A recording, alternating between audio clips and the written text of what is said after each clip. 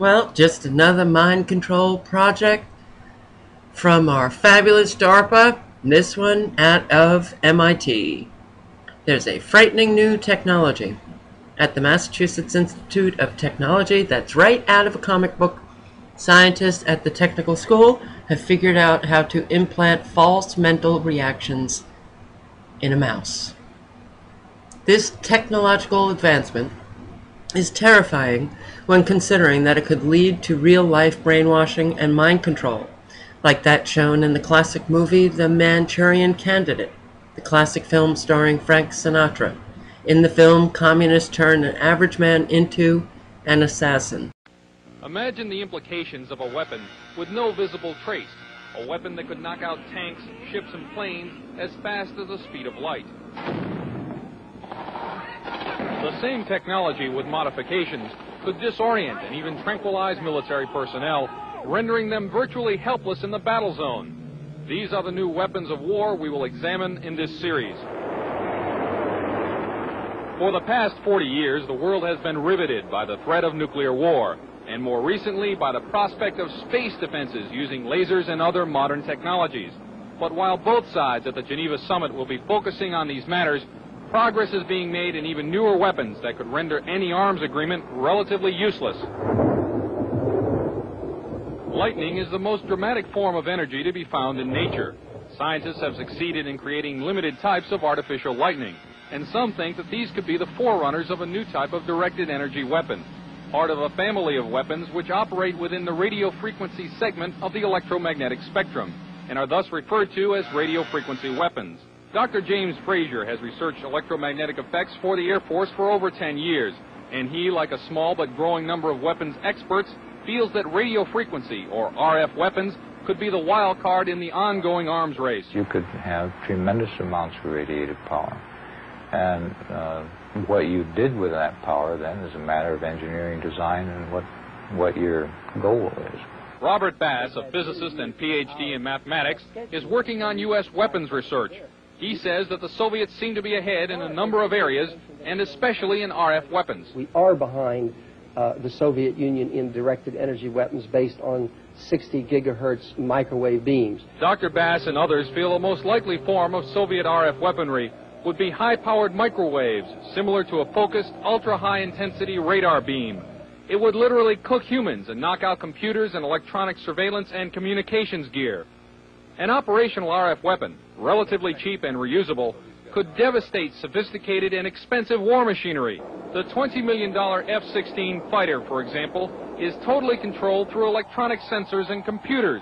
With no manual flight controls, the plane would literally fall out of the sky after being hit with a high-intensity pulse of microwave radiation. Scientists say that microwaves and other types of RF pulses operating at specific frequencies or windows can be transmitted with little or no loss of power. Machines known as gyrotrons can produce the massive pulses needed to drive these devices, and it's believed that the Soviet Union has a three to five year lead in this technology. Over the past year, CNN has repeatedly asked the Department of Defense and the Air Force about radio frequency weapons. After much resistance, DoD finally said that the subject was too sensitive to discuss. In my next report, unexplained cloud-like phenomena which may be evidence of a Soviet breakthrough in RF technology. Chuck DeCaro, CNN Special Assignments.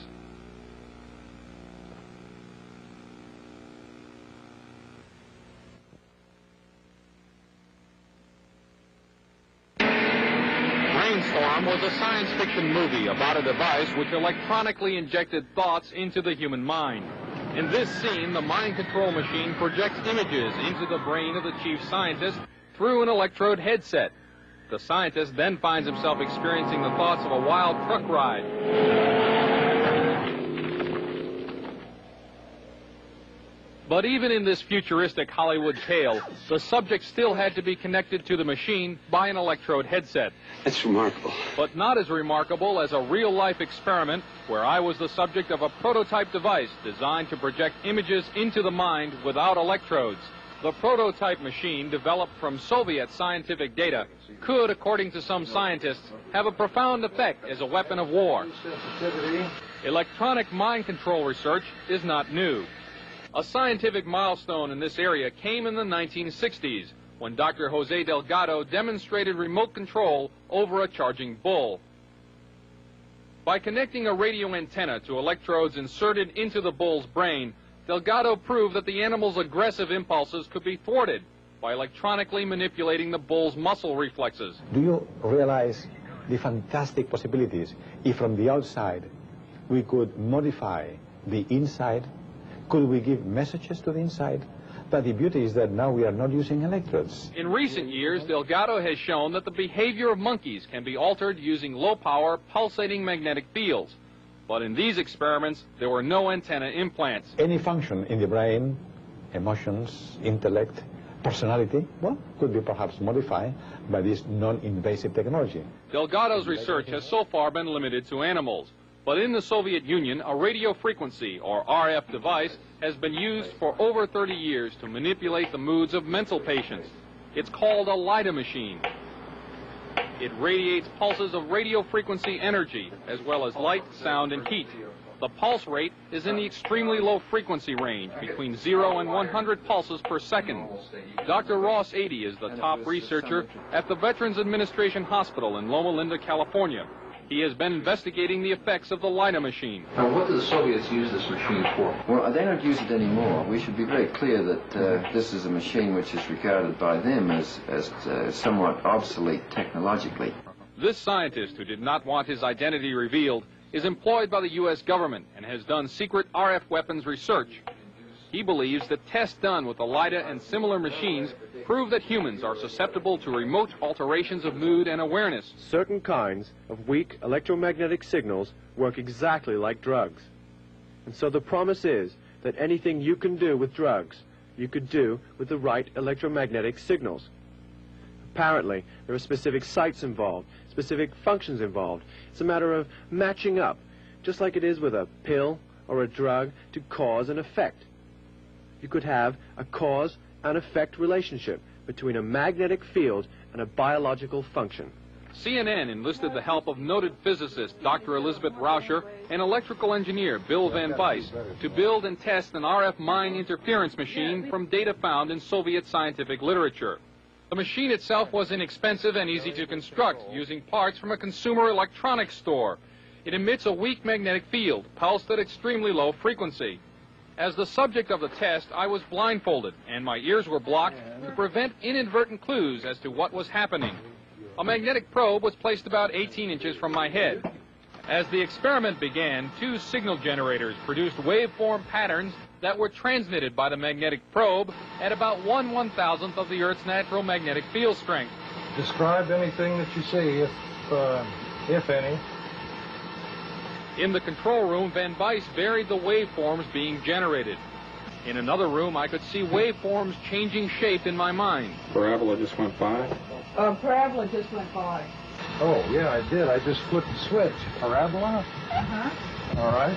Well, let's see. Let's check this out. That's what happened. I flipped, Yeah. flipped the switch. Okay. Uh, there's a spike right there. Spike. Right there. Tight spike. I dramatically changed the uh, generator. I stepped it by 10 right here. And uh, the intermix from the two generators was right where uh, you said that you saw A spike. a spike. Van Bise says that when I failed to see any change, it was because he had not set the proper frequency and power levels. Later, I asked Van Bise what a weapon using this technology could do. induce uh, basically what would be considered hallucinations in people, direct them to uh, do things against their so-called better judgment. How easy would it be to assemble a weapon from existing off-the-shelf parts? In three weeks, um, I could put together a weapon that would uh, take care of a whole town. We showed the results of our test to Dr. Robert Becker, a two-time Nobel nominee for his work in the biological effects of electromagnetism.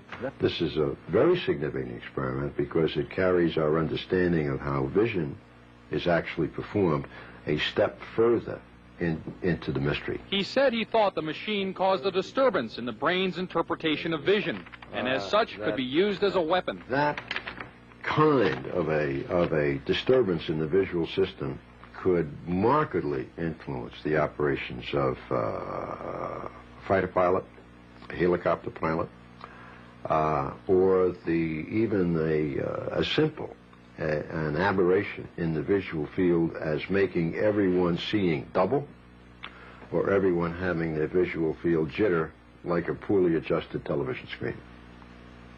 Uh, the effect upon, of that upon the efficiency with which an Army, an Air Force, or a Navy would operate would be catastrophic. More about RF weapons in my next report. Chuck DeCaro, CNN, Special Assignments. Described as Radio Shack parts that anybody can build, done in a laboratory.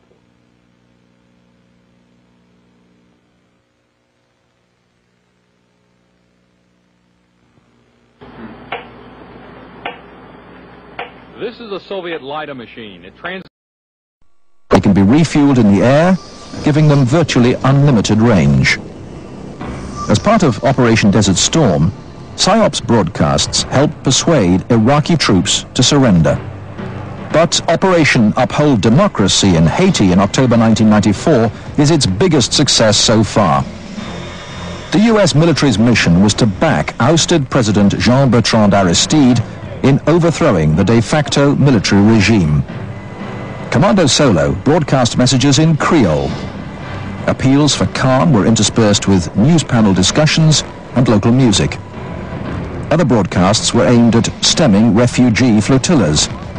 Messages informed them that they would not be allowed to enter the United States. We were able to turn off the refugees, prepare the country, and to provide an alternative to invasion so that when Aristide did return, it was a peaceful return of a legitimate power.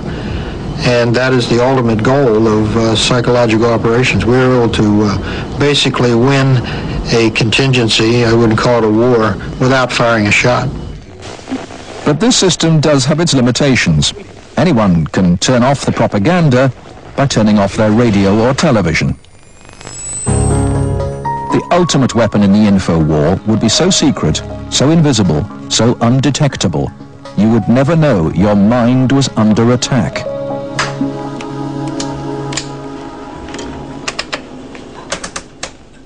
At Laurentian University in Ontario, Canada, a young student is about to undergo one of the strangest experiences of her life.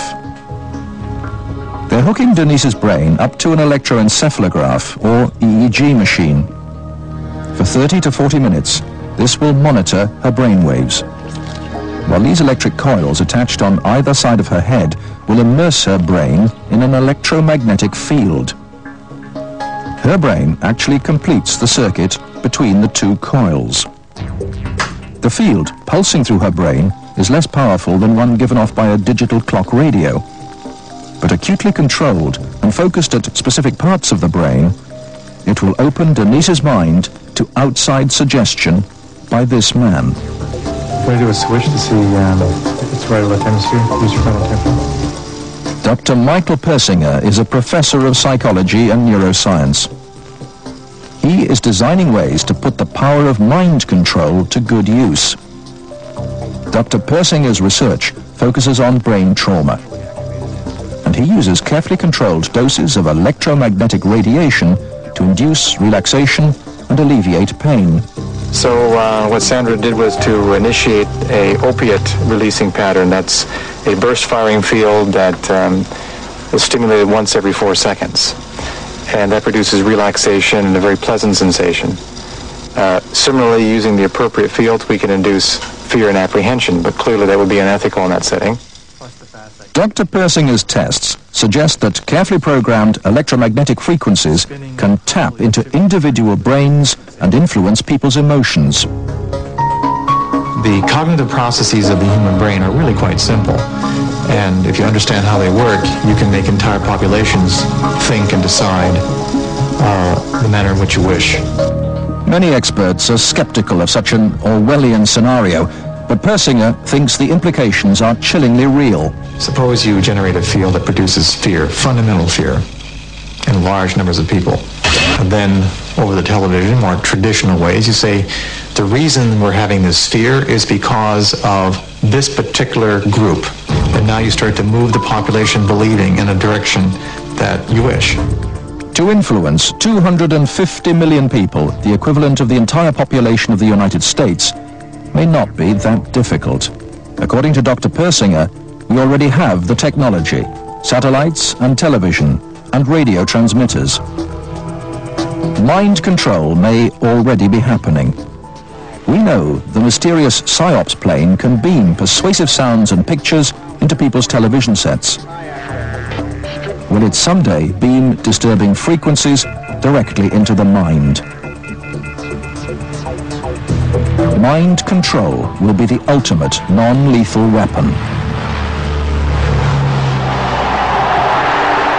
The prospect of a war without pain or death, where victory comes without a single shot being fired, should be a cause for jubilation.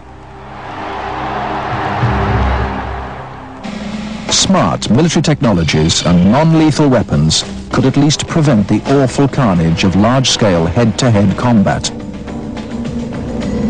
What then can we expect of war in the 21st century? Which will frighten us more, the threat of unspeakable destruction from plasma cannons and lasers on high, or the prospect of national computer crashes?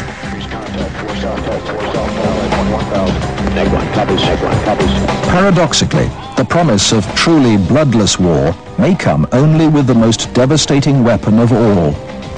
If the human mind and will become the battleground of the future, War 2020 may be won without so much as a whimper, let alone a bang.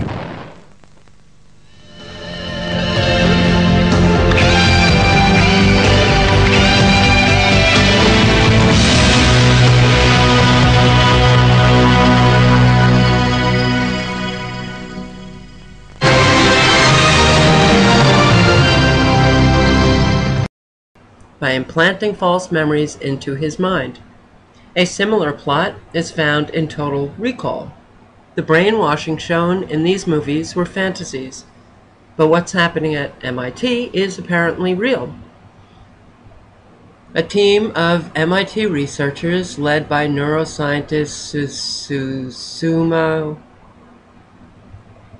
Tsugawa, I don't know, figured out how to implant responses in the brains of mice by manipulating neurons.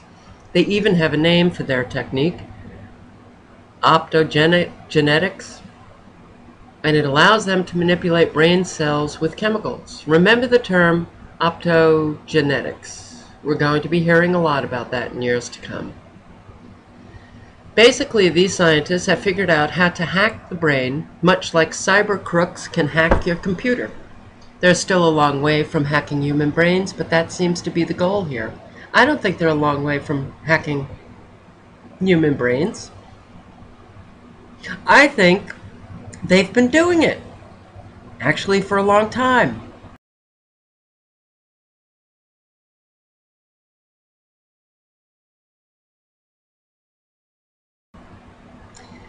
It's funny how all of this is coming out pretty much at the same time. DARPA there and DARPA here, Arizona State University, DARPA's mind control project, DARPA at MIT, DARPA, DARPA, DARPA has been going on for a very, very, very long time. MK Ultra, decades, decades. What do you think? After MK Ultra was exposed, the mind control program, you think they stopped? They don't stop. They just hide it a little bit better. What's really frightening is that the purpose of this research has not been revealed. What purpose would false memories serve? There's also the question of who is paying for this research. MIT's connection to the Defense Department and the military-industrial complex are well known. DARPA has reportedly been doing a lot of research on mind control and brain-computer interface. This memory research has DARPA written all over it. Do we really want our government, or any government, to have the ability to implant false memories in people's minds? I found the guy we got to talk to. Mark Phillips. He's got all the answers to this? He's going to lead us to the guy who does, the big kahuna. Really? Mark Phillips. A former CIA operative.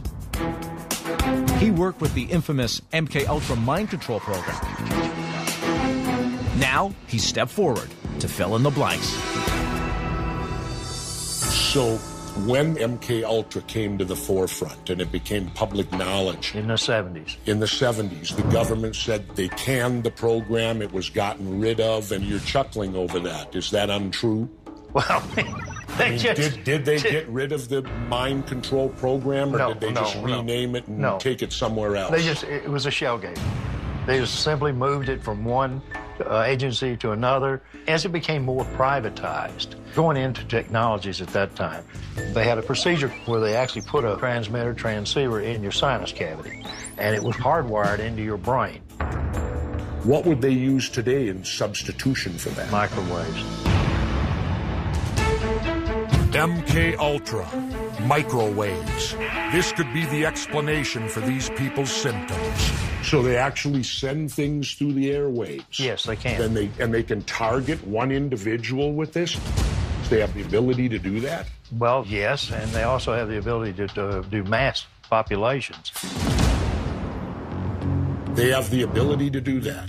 Well, there's a variety of answers, and all of them go back to the same thing electromagnetic pulse. This huge electromagnet will be used to study blazing fast particles. But to do that is making a crushingly slow, month long journey halfway across the country. It's uh, been a 3,200 mile journey to bring it from New York to Chicago. En route to the Fermi National Accelerator Laboratory in Batavia, Illinois, the move is slow going. Top speed in this final leg, just 15 miles an hour. It wasn't always this slow. The electromagnet was floated down the east coast into the Gulf of Mexico, then upriver to Illinois. But at 50 feet wide, slow was the way to go. There's been a lot of areas that we had planned to have very, very snug fits, and everything went as planned. Everything was laid out perfect. Everything had a backup plan. Keeping costs down was part of the plan as well. The used magnet cost $3.5 million to transport, but it would have cost far more to build a new one. John Belmont, Associated Press. The electromagnetic pulse. Streamed from a microwave tower, it can mimic human brainwaves, create anxiety and pain in people, and create human speech inside their heads.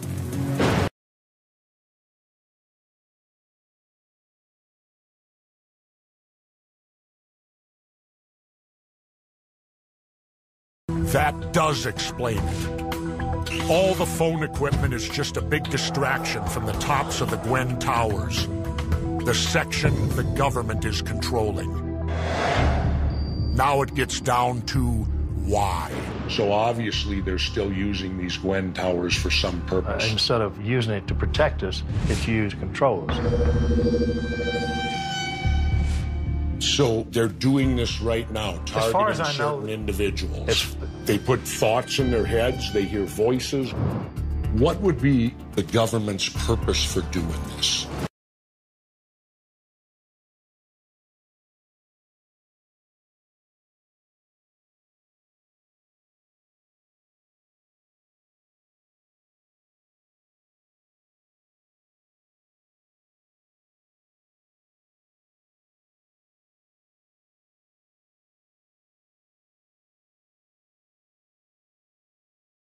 Absolute control.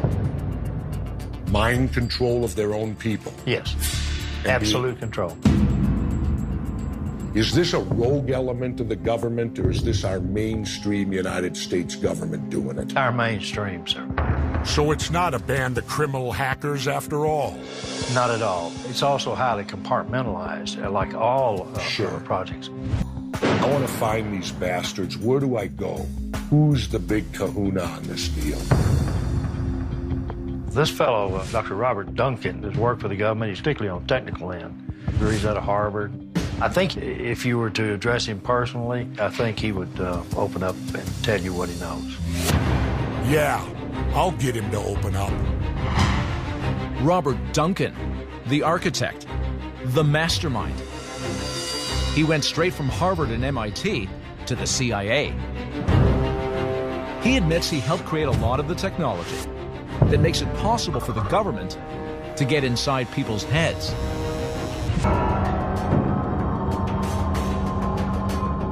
Jesse Ventura is about to confront a man behind the Brain Invaders conspiracy.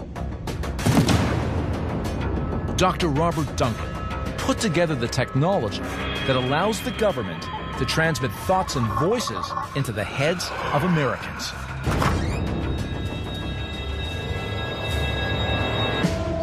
Dr. Robert Duncan.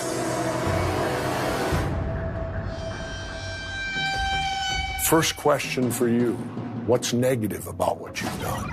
Uh, I've empowered the dark side by some of my work. Are these people crazy or is the government doing this to them? The, the government's doing this to them. He's not even bothering to hide it. They're called voice of God weapons.